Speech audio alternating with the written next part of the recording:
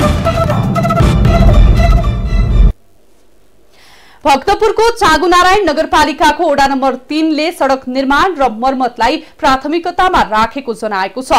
सोमबार TV today टेलिभिजनसँग कुरा गर्दै वडा अध्यक्ष श्याम सुन्दर धिमालले ओडाले सड़कतर्फ बढी बजेट परिचालन गरेको बताउनु भएको हो।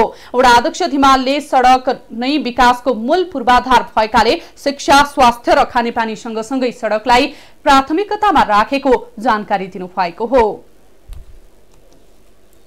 त्यो भनेको एउटा विकाससँगै कसरी विकास आउँछ भन्दा सडकबाट विकास आउँछ भन्ने हाम्रो ठम्बाइरहेको छ।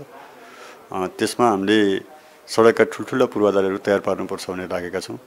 त्यसरी लाग्दै जाने क्रममा पाँचवटा सडकहरूमा चाहिँ ठुला योजनाहरू सञ्चालन गरिरहेका छौँ। तीमध्ये एउटा दुईवटामा चाहिँ के अरे लगभग पिचको काम सम्पन्न भएको छ कालोपत्र गर्ने काम र अरू काममा चाहिँ रनिङ ओडाले सडक सञ्जाल विस्तार गरे पश्चात सहज भएको भन्दै स्थानीय बासिन्दाले खुसी व्यक्त गरेका छन्। यो त आजभन्दा अहिले त केही पनि थिएन। हामीलाई हिँड्न मुस्किल। अझ यहाँ त ठिक छ। यो पनि बन्दैछ नि।